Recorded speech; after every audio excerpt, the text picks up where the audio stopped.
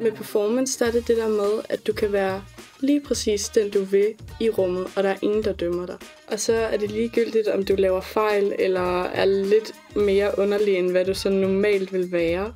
Folk, de hyper det bare op og gør det til en fed ting. Lærerne, de sjove og søde.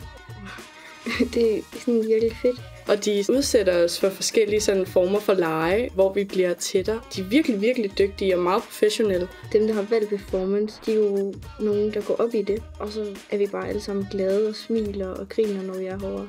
Du har rigtig meget sport på skolen, men når du kommer over i performance, så er det bare noget helt andet.